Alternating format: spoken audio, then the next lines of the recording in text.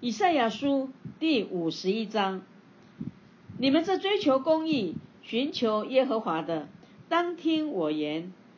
你们要追想被凿而出的磐石，被挖而出的岩穴，要追想你们的祖宗亚伯拉罕和生养你们的撒拉，因为亚伯拉罕独自一人的时候，我选召他，赐福与他，使他人数增多。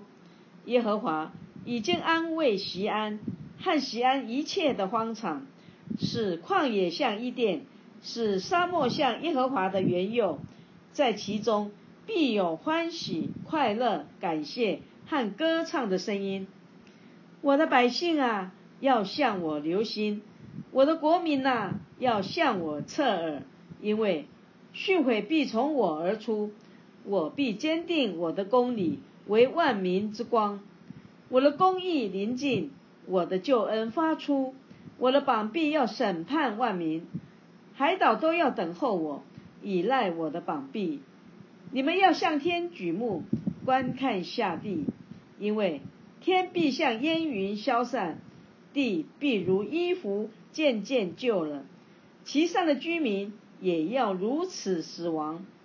唯有我的救恩永远长存，我的公义。也不废掉，知道公义，将我训诲存在心中的民，要听我言，不要怕人的辱骂，也不要因人的毁谤惊惶，因为蛀虫必咬他们，好像咬衣服；虫子必咬他们，如同咬羊绒。唯有我的公义永远长存，我的救恩直到万代。耶和华的膀臂呀！兴起，兴起，以能力为衣穿上，像古时的连日、上古的世代兴起一样。从前砍碎拉哈伯、刺透大鱼的，不是你吗？死海与深渊的水干涸，死海的深处变为俗民经过之路的，不是你吗？耶和华救赎的民必归回，歌唱来到西安。永乐必归到他们的头上，他们必得着欢喜快乐，忧愁叹息尽都逃避。唯有我是安慰你们的。你是谁？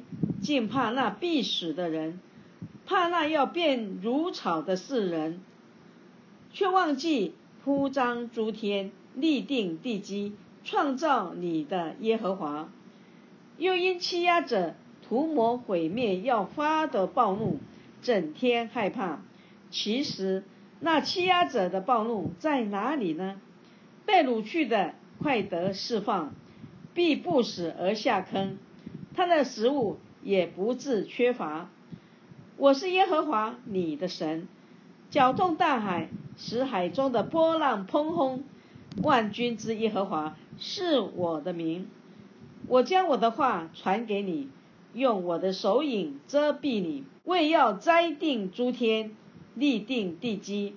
又对西安说：“你是我的百姓，耶路撒冷啊，兴起，兴起，站起来！你从耶和华手中喝了他愤怒之杯，喝了那使人东倒西歪的爵，以致喝尽。他所生育的诸子中，没有一个引导他的。”他所养大的诸子中，没有一个搀扶他的。荒凉、毁灭、饥荒、刀兵，这几样临到你，谁为你举哀？我如何能安慰你呢？